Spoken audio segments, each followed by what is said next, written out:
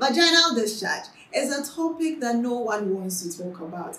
When women come into our consulting rooms, they beat about the bush because they find it very difficult to say that they have vaginal discharge. But please, believe you me, we see a lot of women with vaginal discharge. It's no news to us. We want to help you. That is why we are here. Vaginal discharge can vary in amount, consistency, color, and even the smell. It's usually very common in women after puberty, though every woman can have it. In this video, we are going to talk about the different types of vaginal discharge, the colors, red, gray, green, yellow, and even clear. If you want to find out more, please continue watching this video. This is Time with Dr. Adams. Please subscribe. Thank you.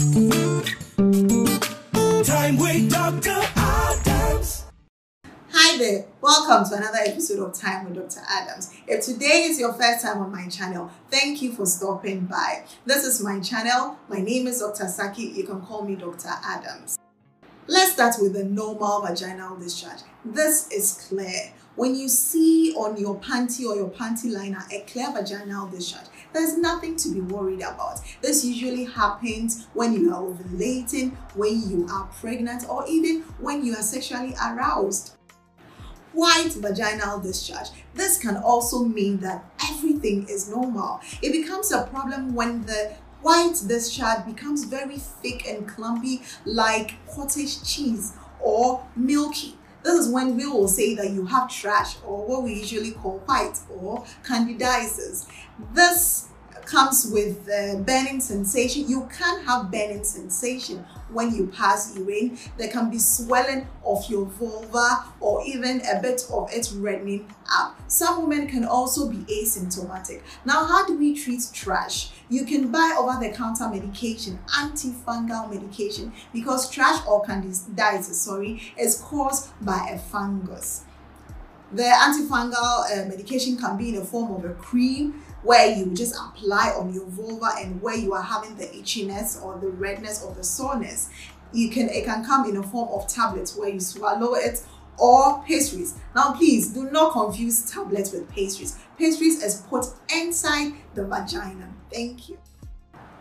Gray. What does it mean when your vaginal discharge is gray? It simply means you have what we call bacterial vaginosis. This is when the pH system of your vagina changes. Please, this is not a sexually transmitted infection, meaning you cannot pass it on to your sexual partner.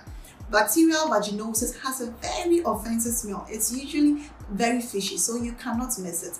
If you are having um, vaginal discharge that is gray or the odor from your vagina is fishy, please just visit your doctor. This can be treated with an antibiotic, but do not go and buy any antibiotic because you might miss it. Just go to your doctor and tell the doctor you are having a vaginal discharge that is gray and is fishy. We will help you out with an antibiotic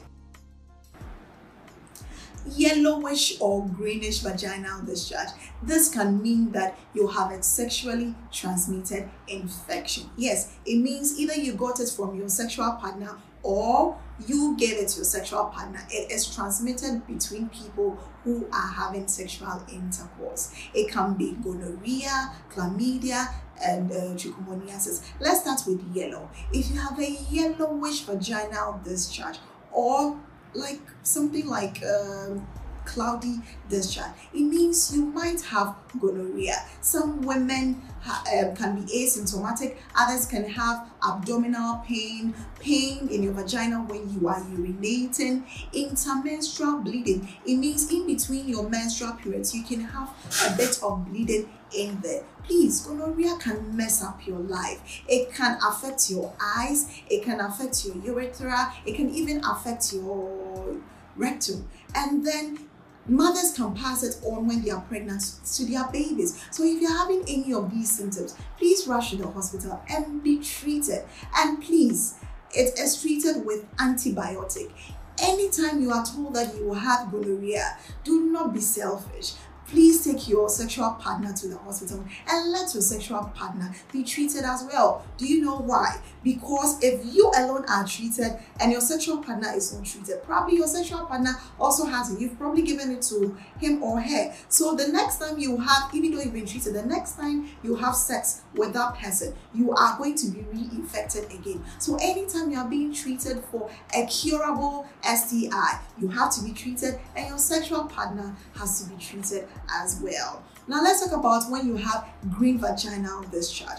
This can mean that you have what we call trichomoniasis. This is a very big word, right? Frothy, yellowish, greenish discharge means you have trichomoniasis. Now, this is the commonest non-viral sexually transmitted infections we have in the whole world. Yes, the prevalence of trichomoniasis is more than gonorrhea, syphilis, and even chlamydia. A lot of people are walking about with this because you can have it and still be asymptomatic. Apart from being asymptomatic, sorry, meaning you have no symptoms as well at, at all. You can have uh, pain when you're you are urinating. You can have abdominal pain as well. Please, this is also very treatable. It's treated with an antibiotic.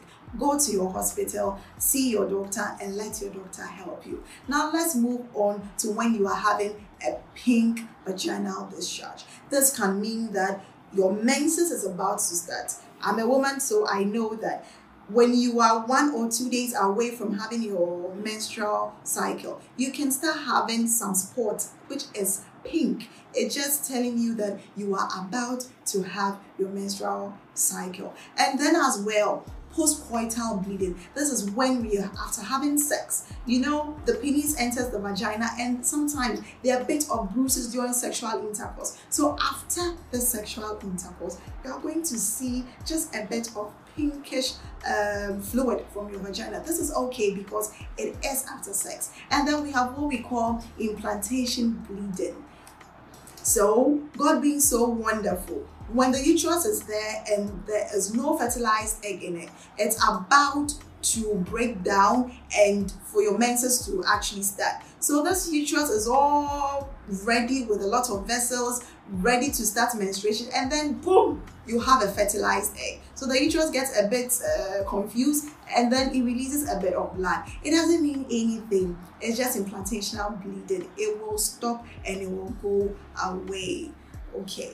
Um, another example of when you can have vaginal discharge that, that is pink is when you have cervical um, infection please this as well go to your doctor and let your doctor help you let's move on to the next uh, color that is red red when we say red menstruation yes your menses have started but then if you are not in your menstrual cycle and you are bleeding then there is a problem. It can be cervical polyps. Cervical polyps is when around your cervix. If you haven't watched my video on vagina, please go to my playlist find the women's health videos and watch when I explain what um, these organs are in the reproductive system of the woman. Around the cervix, you can have some growths that can bleed sometimes. That is what we call cervical polyps and you can see a red discharge on your panty. It can also be endometrial cancer. So if you are not bleeding, if you are not having your menses and you see a red discharge, please follow up on this. If you are pregnant and you see that you are bleeding, if it is not an implantational bleed, then it can be that you are having a miscarriage or what we call abortion. Please speak to your medical doctor or go to your nearest health center to be helped. Also, you can have what we call endometrial cancer. This is when you have intermenstrual bleeding. When you're not supposed to be having your menses, you see that you are bleeding. Please go to the doctor and be helped. Now, the last color I want to talk about is brown.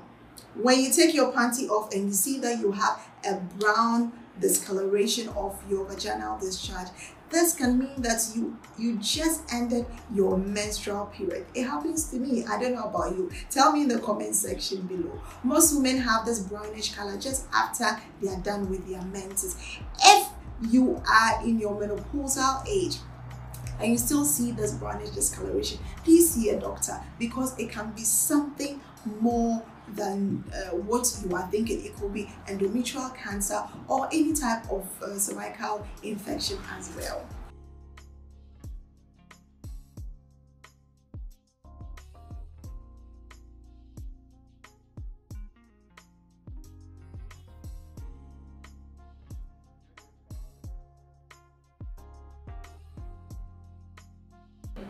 With all this said, now let's talk about prevention, how we can take good care of our vagina.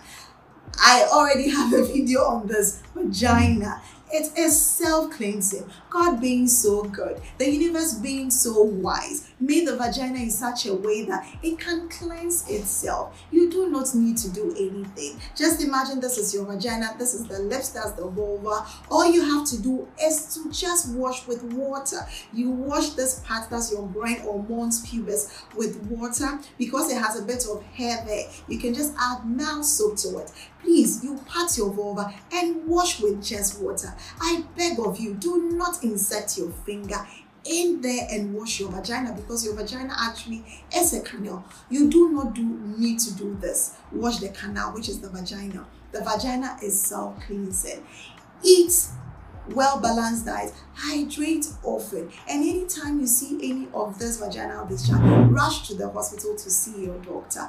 Please wear cotton breathable panties because anything that keeps moisture or heat in your vagina can change the pH system of your vagina which can breed infections and can bring about all these problems we're talking about apart from STIs. So let your vagina breathe. Enough of wearing every day too much of tight clothing. Wear breathable clothes. This was Time with Dr. Adams. Thank you for listening. If you have any comment, questions, um, if there are any topics you want me to cover, please let me know in the comment sections. Thank you and please subscribe. See you in the other. Time with Dr. Adams. Time with Dr.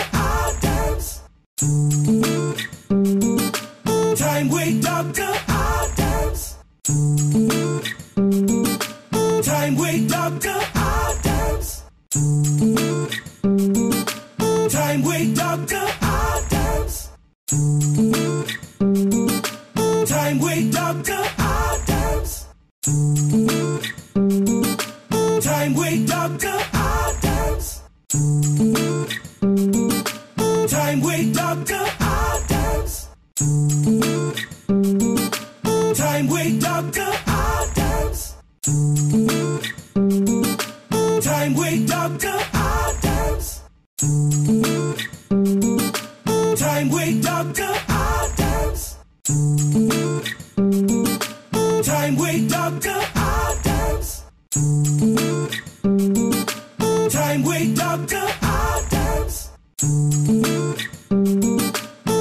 way, Dr. Adams.